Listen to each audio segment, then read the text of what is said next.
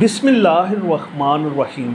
چھوٹے شرک کا خوف۔ رسول اللہ صلی اللہ علیہ وآلہ وسلم نے فرمایا کہ مجھے تم لوگوں یعنی امت پر جس چیز کا سب سے زیادہ خوف ہے، وہ چھوٹا شرک ہے۔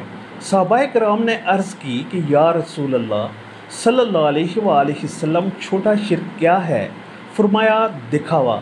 یعنی عبادت نیکیوں وغیرہ میں ریاکاری قیامت کے دن جب لوگوں کو ان کے کاموں کا بدلہ دیا جائے گا تو اللہ تعالیٰ ان دکھاوا کرنے والوں سے کہے گا، جن لوگوں کو تم لوگ تعریف واہ واہ حاصل کرنے کے اپنی عبادت و نیک و کام دکھایا کرتے تھے، اب بدلہ اجر و ثواب کے لیے انہی کے پاس جاؤ اور دیکھو کیا تم ان لوگوں کے پاس کوئی بدلہ پاتے ہو۔ یعنی کیا اب وہ لوگ تمہیں جنت میں داخل کر سکتے ہیں کیونکہ عبادت اور نیک امال تم نے خالص اللہ کی رضا و خوشنودی کے لیے تو کیے ہی نہیں تھے، انجام دوزخ ہی ہے۔